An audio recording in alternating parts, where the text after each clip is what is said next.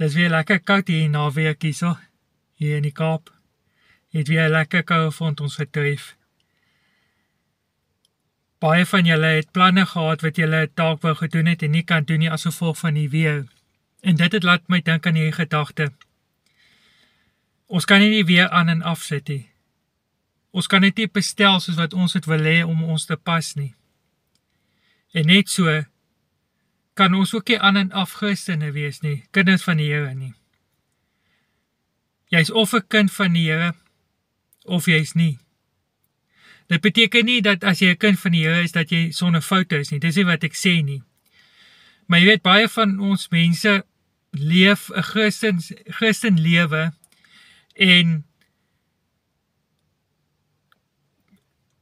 is net Sondag Christene ander dae dan tel dit nie. Dit is so soos die ou mense altyd gesê het as as hulle in 'n moeilikheid kom en hulle wil iemand regsien, dan sê hulle ek trek net gou my Christelike paadjie uit sodat ek nou eers hierdie persoon kan regsien. En dit is hoe ons baie keer is.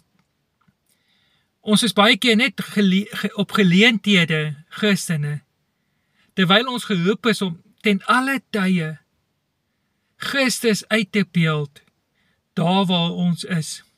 Hoor wat sê 1 Korintiërs 10 vers 31. Paulus praat hier so my pas spesifiek oor 'n onderwerp van eet en en hierdie dinge, maar dan sê iets belangrik in hierdie vers. Hy sê of jy eet of jy drink of wat jy ook al doen, doen alles tot eer van God.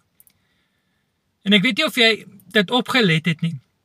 Hy sê of jy nou eet of drink of wat ook al jy doen, alles wat ons doen. Dit beteken ander goed ook. Dit beteken ten alle tye moet ons God eer in wat ons doen. So dit beteken ek kan nie aan en af Christen wees nie. Dit beteken net nie ek kan wanneer dit my pas of wanneer ek mense wil beïndruk Christen wees nie.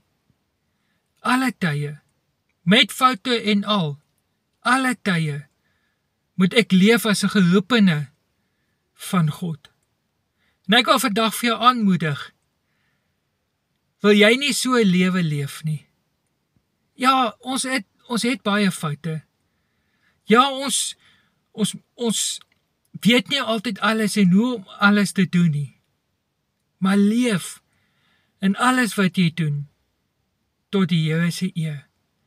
Dat dit altyd na hom toe sal wys dat hy die Here is. Kom ons bid saam. Here, baie dankie dat ek vir elkeen wat hierdie video kyk kan bid. Ons is nie perfekte mense en altyd nie. Maar ons is geroep om 'n perfekte God ten toon te stel. En ek wil bid jy dat ons lewens van so aard sal wees dat ons altyd aan Christene sal wees. Dat mense ten spyte van ons foute Christus sal raak sien in ons lewenswandel. Net dankie daarvoor in Jesus naam. Amen.